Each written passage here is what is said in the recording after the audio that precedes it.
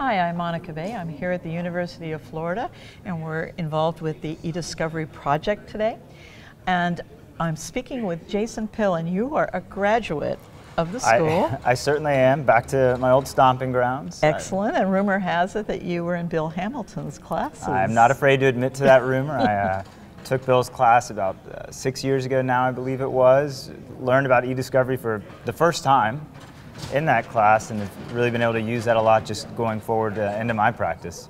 Well, that's great because one of the problems that a lot of us veterans see is that students sometimes come into eDiscovery with very, very old stereotypes. And I'm old enough that I actually did all of those e-discovery when there wasn't an E in front of it right, right. and all the beginning work. So I firsthand, that's how I put myself through law school. There's so many stereotypes. Tell us about your experience and where you're working now and how knowing e-discovery and having comfort with it has advanced your career. Well, I'm currently working at Phelps Dunbar. It's a regional law firm all throughout the Gulf Coast. We do full service everything. We do labor and employment, which is my primary area, and civil litigation, commercial litigation, et cetera. So e-discovery is a large component of what we do.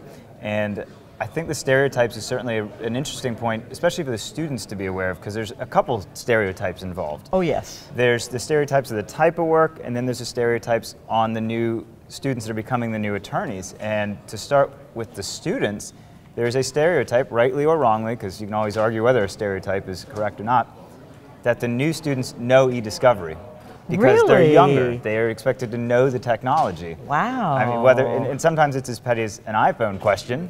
Yeah.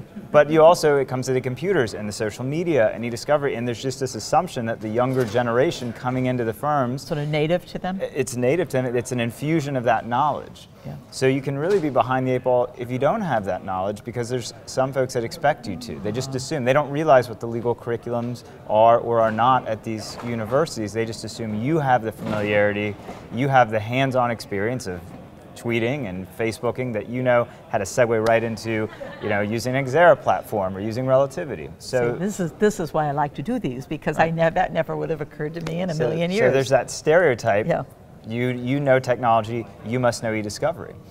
And then conversely, there's a lot of folks that don't know e-discovery. It's toxic. They don't want to deal with it, and, and it's been for me.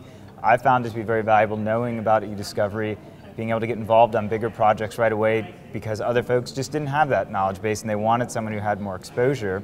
And taking a class like Bill's at the University of Florida, I taught. I had it when it was taught by Ralph and Bill, so I had two e-discovery titans teaching this great class. Ralph Losey. Ralph Losey, yeah. And uh, and it was a great knowledge base of something I couldn't get elsewhere. And so when I went into the firm, I had a comfort level and more exposure than a lot of the attorneys there to those, those issues because they just hadn't come across them in their practice. And Bill forced those issues into the curriculum, made you start thinking about it. That's absolutely great. We're running out of time, so I have one more question to ask you. How did your knowledge help you in your job hunt? And, and I'm going to ask a very rude question, you can dodge if you want. Do you feel that you got a higher salary and a better situation because you knew that information?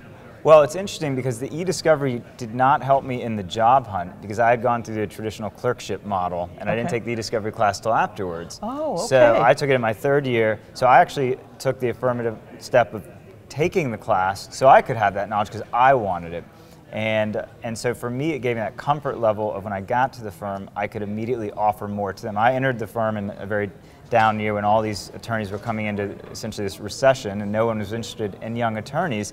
So to me, eDiscovery was a great way to try to distinguish myself and hold myself out as adding additional value that maybe some of these other new students couldn't provide.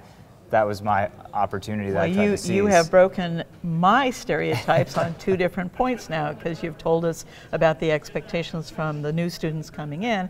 And you've also raised a great point, which is that it's not too late to learn about e-discovery even if you have graduated and you can come to wonderful programs like the ones we're doing today to learn about e-discovery. I'm Monica Bay and thank you for being here.